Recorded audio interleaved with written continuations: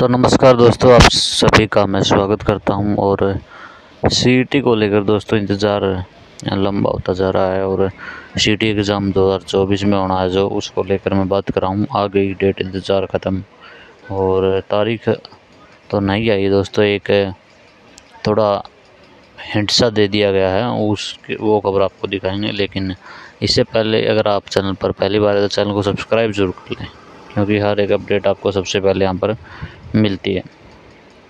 अब दोस्तों अपडेट की जहाँ तक बात है, ये देखिए। इधर दस लाख युवाओं का इंतज़ार ख़त्म। नवंबर में सीटी की तैयारी।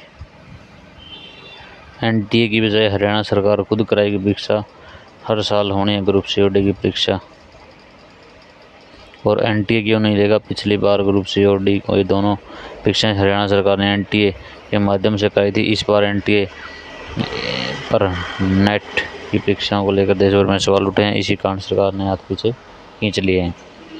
हरियाणा के दस लाख युवाओं के लिए राहत की खबर है। हरियाणा सरकार नवंबर में सी टी आयोजित करने की तैयारी में। ग्रुप सी और ग्रुप डी दोनों श्रेणियों के लिए परीक्षा होगी हालाँकि अभी परीक्षा की तिथि तय नहीं की गई है, लेकिन हरियाणा कर्मचारी चयन आयोग ने इसके लिए अभी से तैयारियाँ शुरू कर दी हैं। पंजाब व हरियाणा हाई कोर्ट में हलफनामा भी दिया है कि अक्टूबर से दिसंबर के बीच सीटी आयोजित किया जाएगा। खास बात यह है कि इस बार सरकार एनटीए के बजाय खुद परीक्षा कराएगी। दो हज़ार उन्नीस में पूर्व सीएम मनोहर लाल ने ग्रुप सी और डी की भर्तियों को लेकर संयुक्त पात्रता परीक्षा लेने का फैसला लिया था।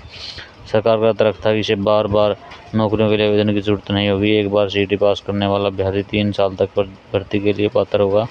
पर सरकार की तमाम पोस्टों के बावजूद ग्रुप सी की सी टी दो हज़ार बाईस में और ग्रुप डी की दो हज़ार तेईस में आई इसके बाद अभ्यर्थियों को नई परीक्षा इंतज़ार है। हरियाणा कर्मचारी चयनों के अधिकारियों का कहना है कि अक्टूबर से दिसंबर के बीच में परीक्षा की तैयारी, इसकी तैयारियाँ की जा रही हैं। अब दोस्तों सवाल ये उठता है, ये बात तो ठीक है, चलो जो भी खबर आई है, कि मान लो अक्टूबर में, मान लो क्या है ही, अक्टूबर में आपकी इलेक्शन है, कोई ना सर, नई सरकार आती है, और क्या वो सीटी लागू करेगी या नहीं रहने दिया जाएगा, वो उस पर निर्भर करता है। पहले ही ये घोषणा कर देना, या ये एग्ज़ाम पहले कराना था, आपको सरकार की जहाँ तक बात है, ये एग्ज़ाम पहले कराना था सरकार को और अब जो बात है, वो नई जो सरकार है, वो लागू करेगी या ना करेगी, उस पर निर्भर करता है। लेकिन मुझे तो लग रहा है कि बीजेपी दोबारा नहीं आने वाली। कांग्रेस की सरकार आएगी और कांग्रेस को आप जानते हैं सीटी को लेकर क्या बोलते हैं, उनके जो मंत्री हैं या कांग्रेस के नेता हैं, वो क्या बोलते हैं, आप सभी को मालूम है।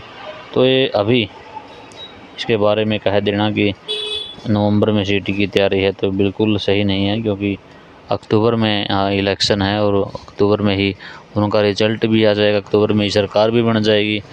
तो नई सरकार आएगी तो क्या कुछ रहता है, देखने वाली बात होगी फ़िलहाल तो अपडेट थी। आशा करता हूँ वीडियो पसंद आएगी। वीडियो को ज़्यादा शेयर कर दीजिएगा चैनल को आप सब्सक्राइब ज़रूर कर लीजिएगा। धन्यवाद। जय जय भारत।